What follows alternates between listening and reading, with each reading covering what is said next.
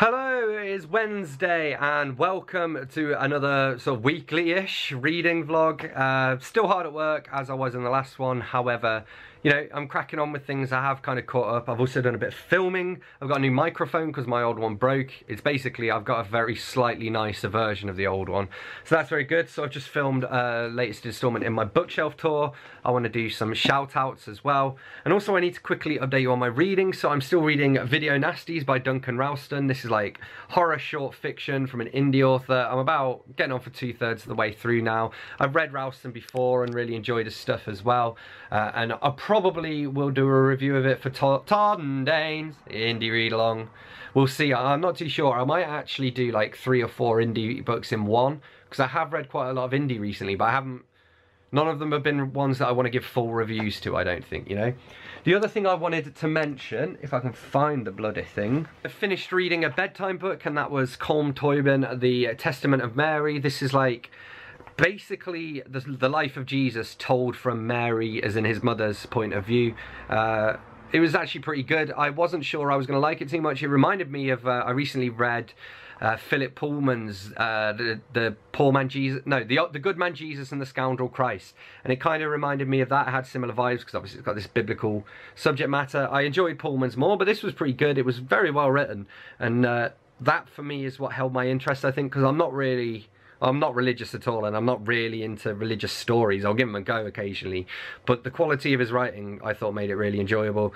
And also I can imagine it potentially being quite controversial for some people. I'm not too sure. But um, yeah, I if I just took it for what it was, I mean, I ranked it as uh, fiction on my, on my on my on my book blog. So Alright, so yeah, that's where I'm at. So I'm off to do a little bit more work and soon I'm going to film my shout-outs for, uh, for April as well. And maybe do a bit more editing, we will see.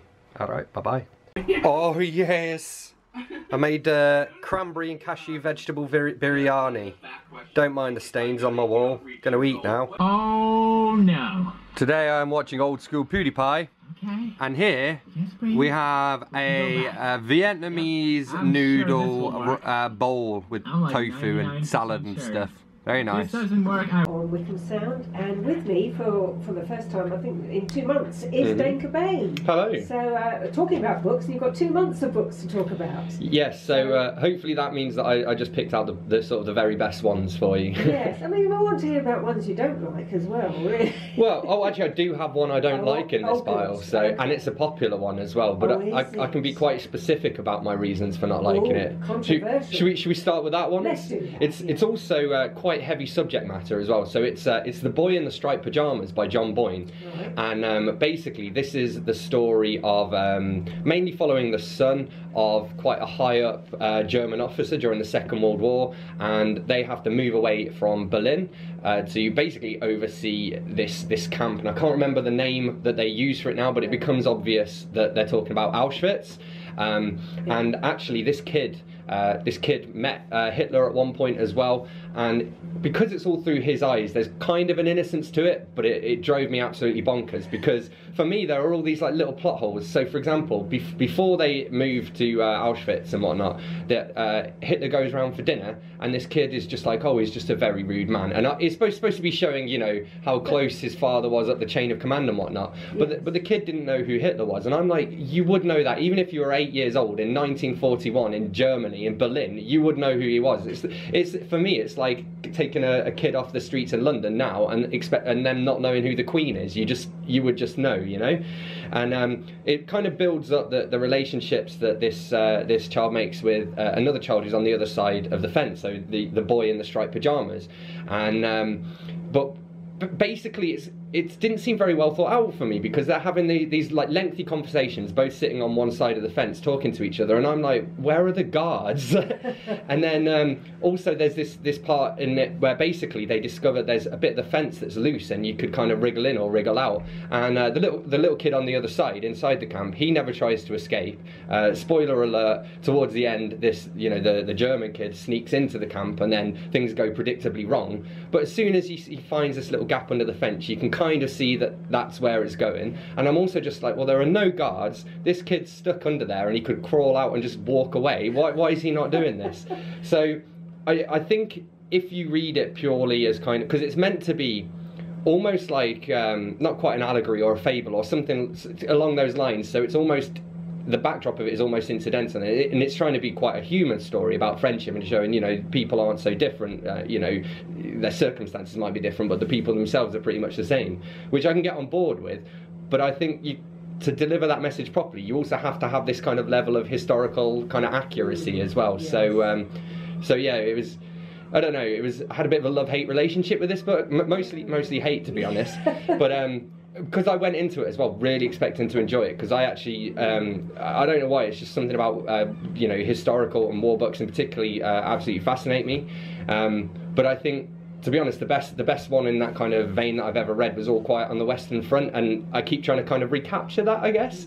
And um, I, I don't think anyone's done it anywhere near as good as that. So Yeah, I mean, the boy in the striped pajamas has it won awards? I I- let's have a look, I believe quite- so. It's quite a.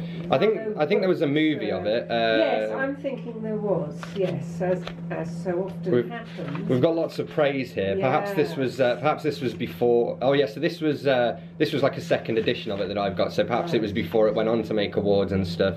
Um, but just also like a lot of the the language as well. I'm trying to flick through now to see. Uh, uh, there was like a nickname that the kid called Auschwitz because he couldn't pronounce it properly, Yeah. and um, just and uh, the uh, for example instead of the Führer there was a term for that as well, which uh, which he used and I don't know. It, it was. I, I got the feeling as a reader, it was trying to sort of slowly make you aware of what's going on, but it was kind of so obvious that it was just. It was just like you might as well just be using the actual names for things. I don't know again whether that's meant to make you feel more like you're in the head of this little boy, um, but yeah, it didn't really work for me, unfortunately. Ah, yeah, because it, it's it's a funny feeling when you don't ha- when something is really popular. Yeah.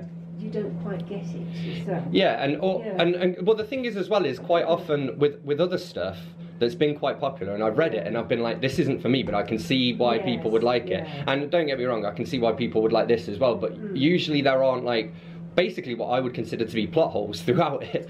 So usually, if I don't like a book.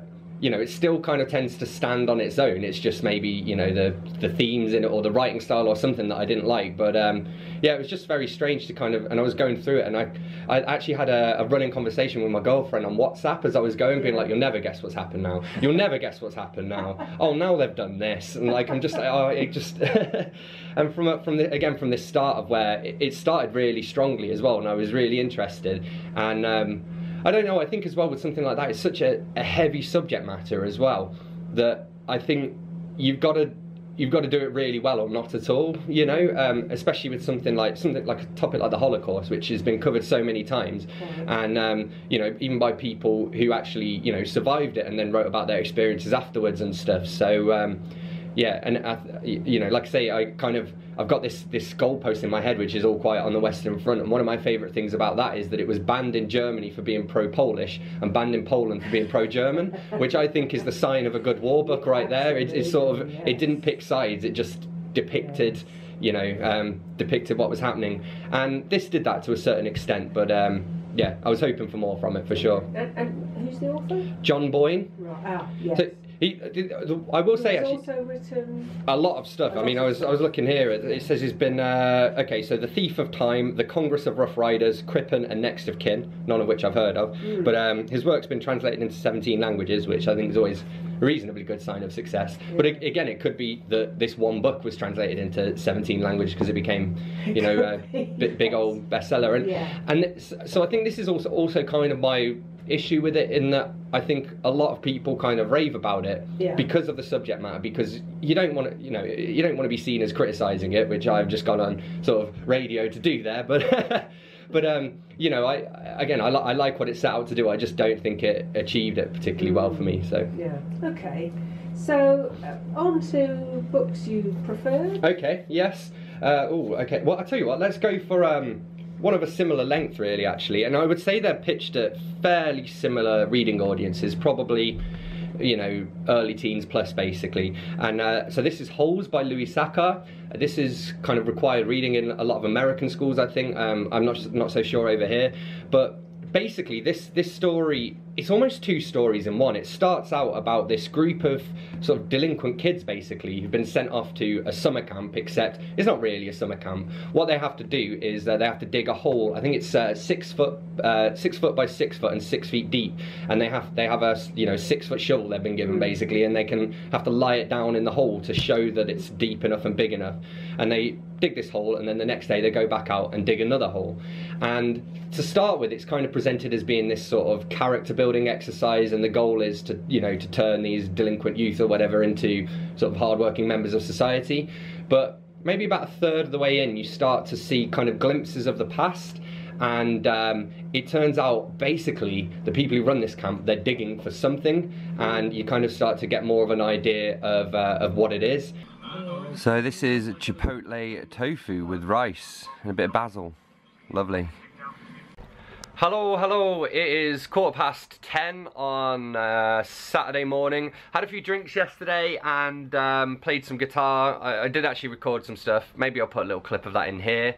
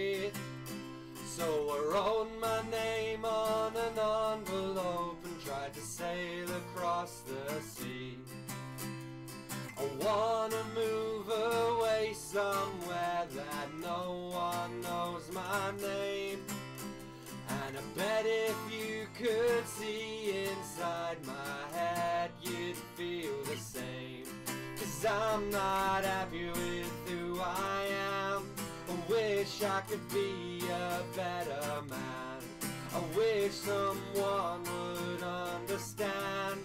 Nobody cares if you're feeling blue like I do.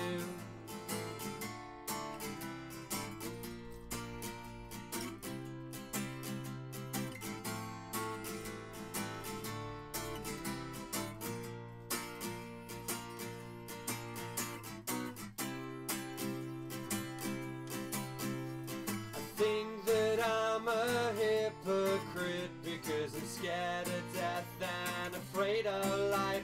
So I'll light another cigarette until the itch is satisfied.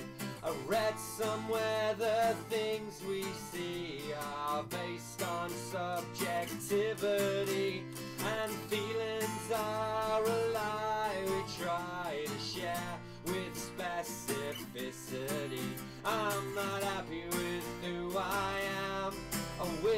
I could be a better man. I wish someone would understand. Nobody cares if you're feeling blue like I do.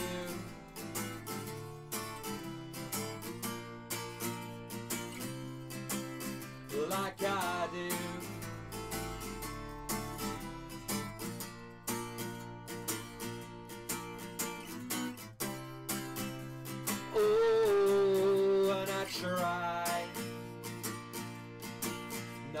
Notice,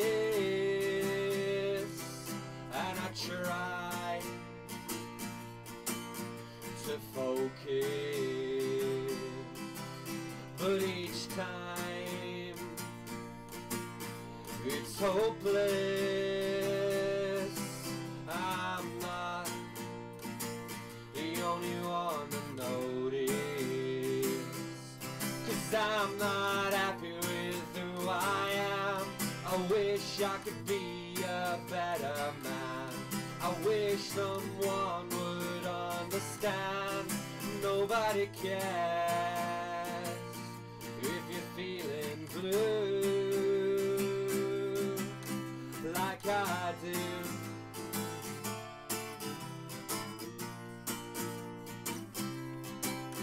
Like I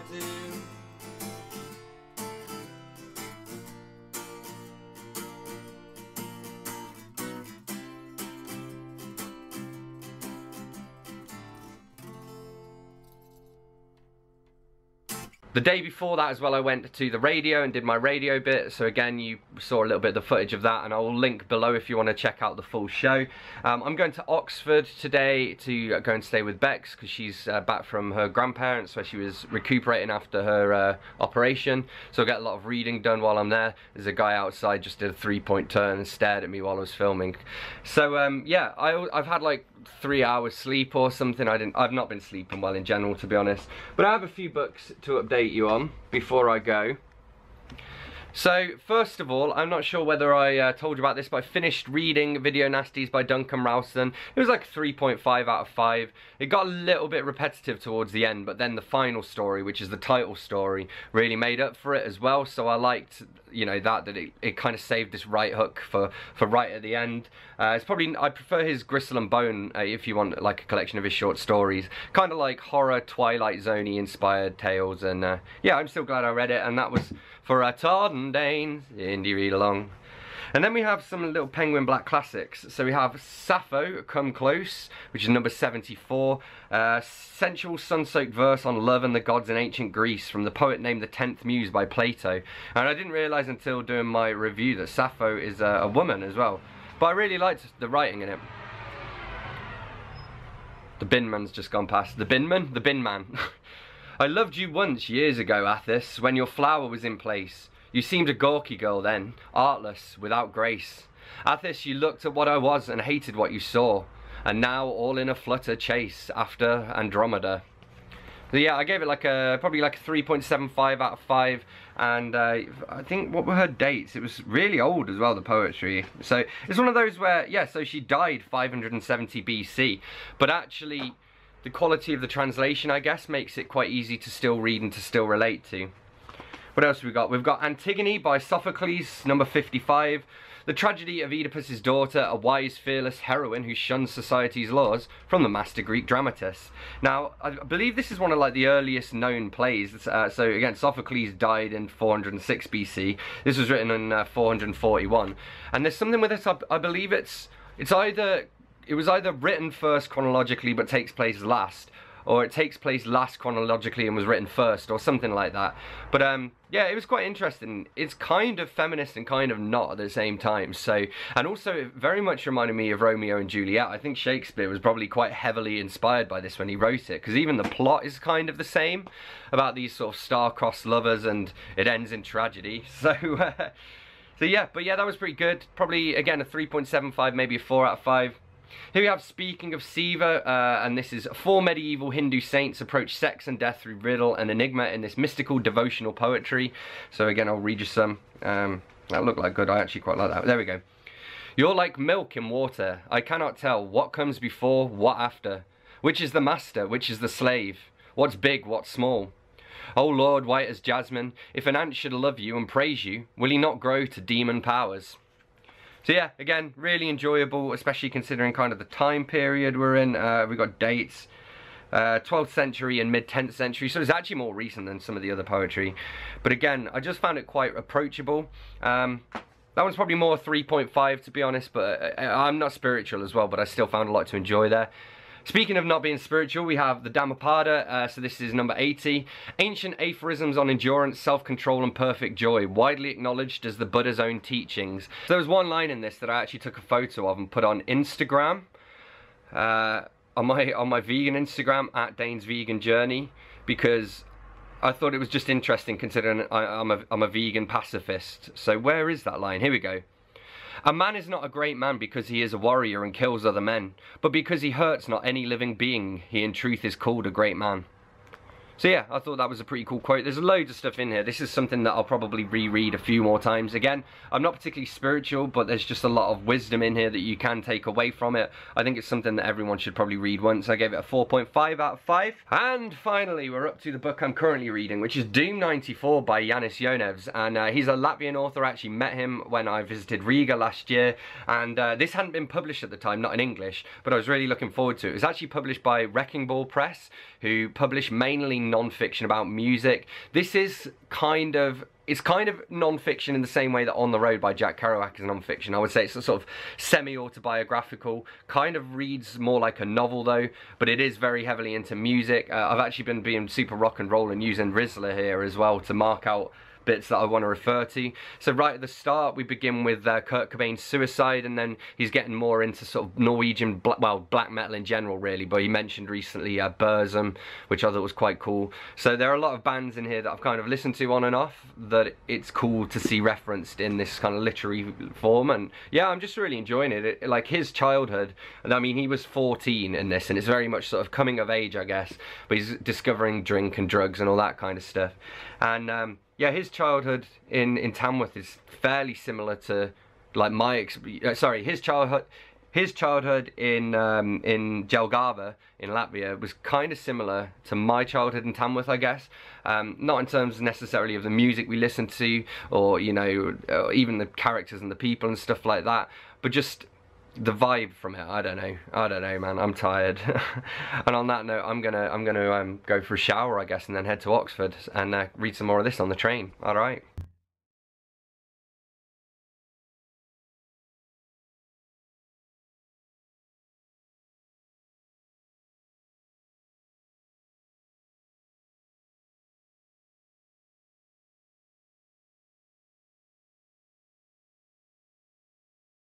this like Asimov, like, oh, what are you doing here? And he was like, oh, I'm uh, here to sign some books. And then someone else just turned around and went.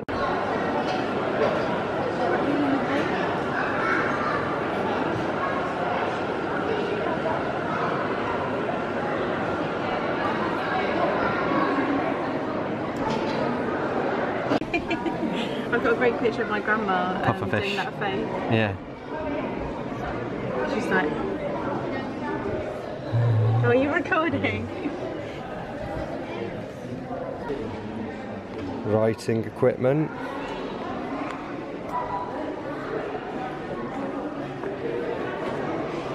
From writing brushes to steatite pencils, reed pens, and a Brahmin stylus from India for writing on palm leaf. Yeah, well, there's some. Um, Didgeridoos. Nose flutes. Nose flutes. Wow. Wait, so these are nose flutes No. as opposed to Yeah, so you, yeah, Didgeridoos, Have yeah. you seen anyone play nose flutes? I think so, yeah. salutes Yeah. from flutes to lutes to lamellophones. Lamellophones. I didn't know that was what these are called. Are they not? Ancient Egypt. Damn. This- is where we get to like on our way out, and then I see like a no videos or whatever. There's usually no flash photography, isn't it? Because the flash can damage stuff.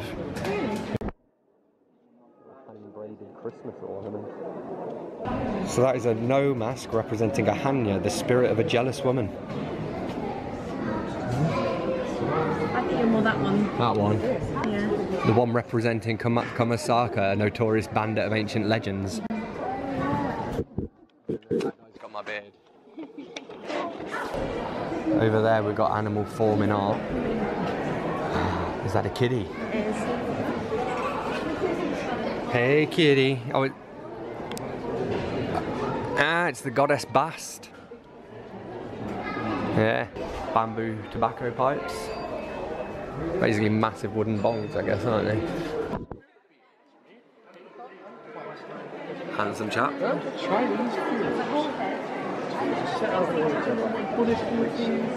I'm serious. So metal. that is bad.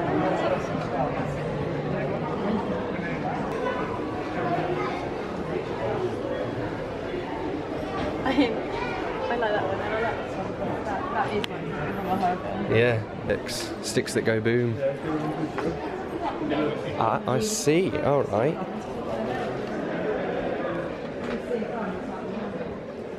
So is he the dude who's responsible for this museum? I guess.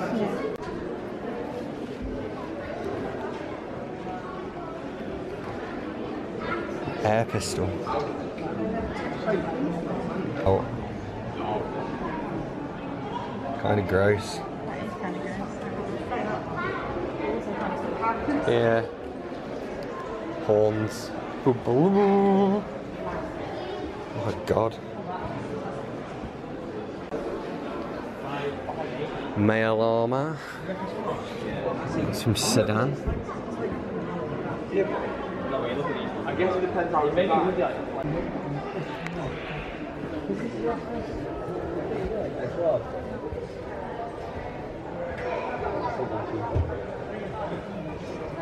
Pretty cool. That is a beast. Which number is that? Number eight. Two-handed broadsword from Germany. They are some cool shit. I would not want them flying at my head. It comes back to you, doesn't it, like a demon? I guess so. Oh, boom, boom. Huh? Bling? Bit of bling, yeah. What's that?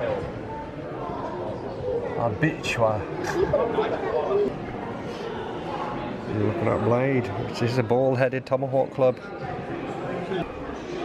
Now these are cool. I like me some bows.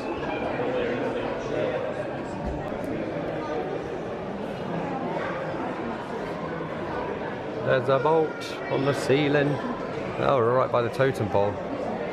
That is like being stabbed with a pineapple. That is. Whoa.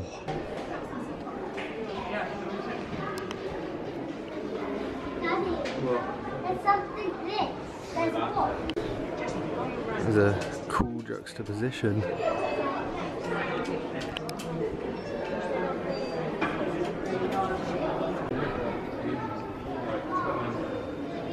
My god.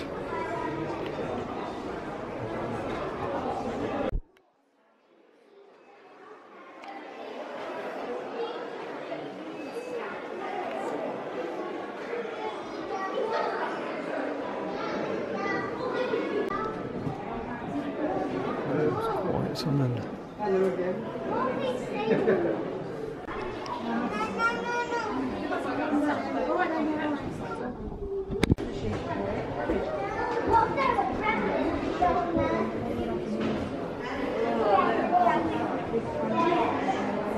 Hello.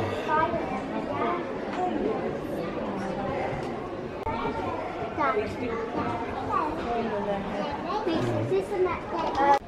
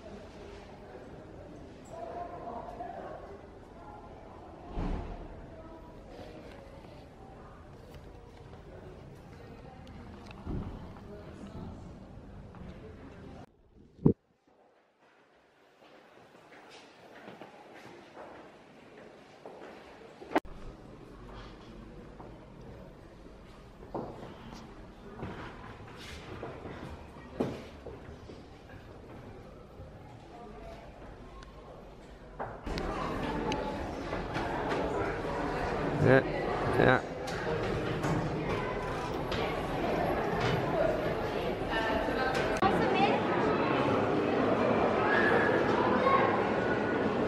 Oh. It is E. coli. You better wash your hands.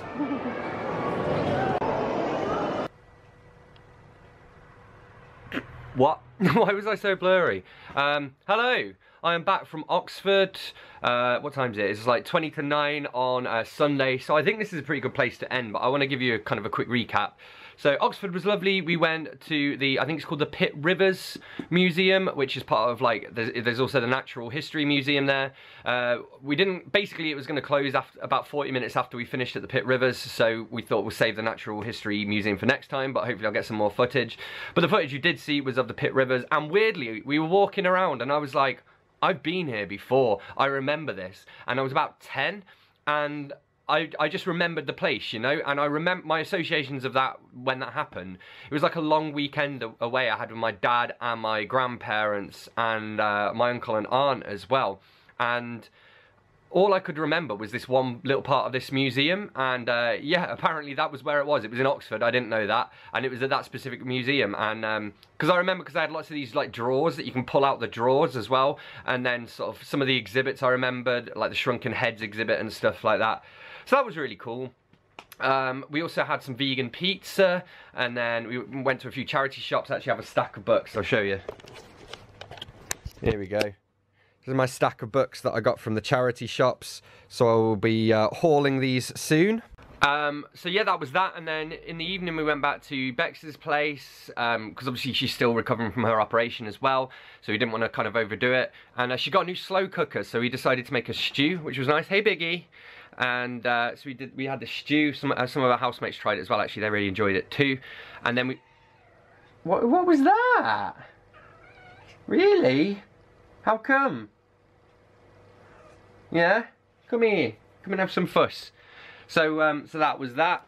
And then yeah, then we watched uh, we watched a few things. We watched Takeshi's Castle because she'd never seen Takeshi's Castle before, and then we watched an episode of like I can't remember what it was called, but it's about um, it's like a reality TV show where they get like people from the 21st century to undergo the training to become uh, that that Churchill's spies took uh, went under undertook during the sorry it's really hard to stroke a cat and talk at the same time for some reason.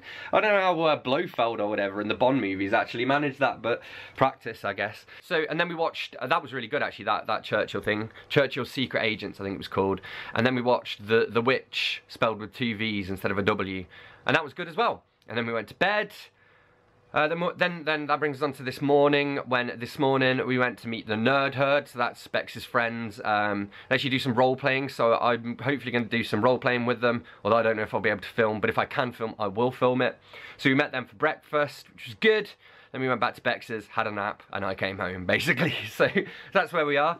Books wise, I only really have this to report on uh, Doom 94 by Yanis Jonevs. I think that's how you pronounce his name. It could be Janis Jonevs, I don't know. I did meet him, so I should probably know this. I met him during my trip to Latvia, and uh, I'm going to do a full review on this, but I gave this like a 4.5 out of 5. The, actually, the only thing wrong with it were that there were like typos, but they were um, the kind where they've obviously instead of proofreading they've ran a spell check kind of thing so there are no like just words that don't make any sense there are just words that shouldn't be there if that makes sense. I'm trying to like the word find instead of fine or fin or something like that because they'll still be picked up as dictionary words.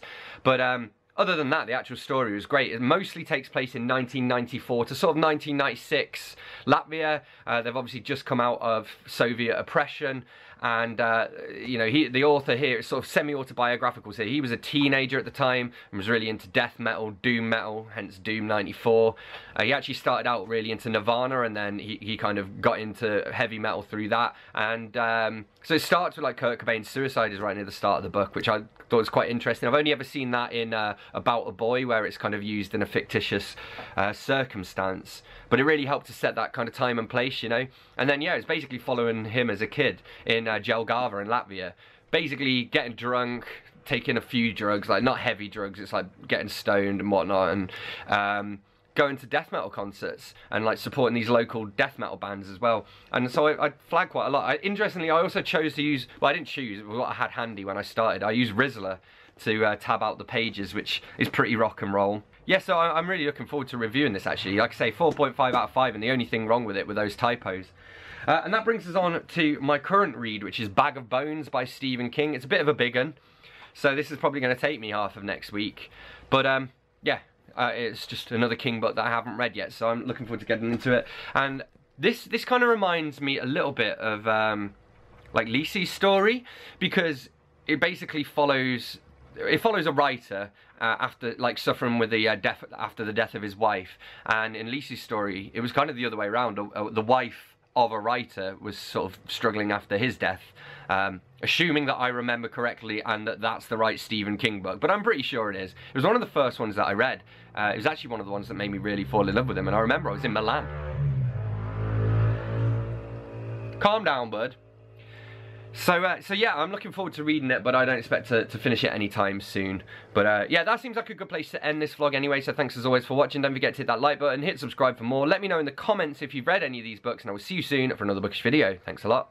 Bye-bye.